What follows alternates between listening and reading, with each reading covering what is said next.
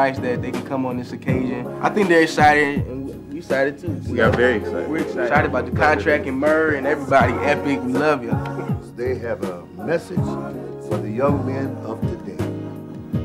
If they just continue like they have been taught, everything will be well. Yeah, we will only fall short if we didn't carry that on and, and deliver a message to, to our generation, just like they did.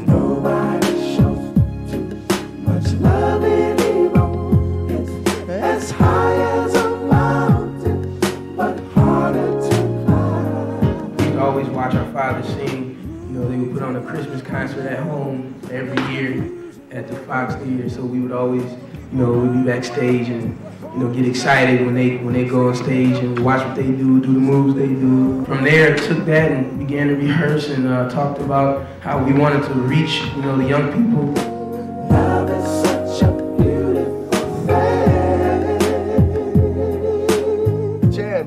Opportunity that my grandson has now was a great opportunity than what my sons had. Yeah. But I, I thank God for my sons because they opened a way through their life and the record has been a door open for my grandsons. that together we stand, heard by life we fall.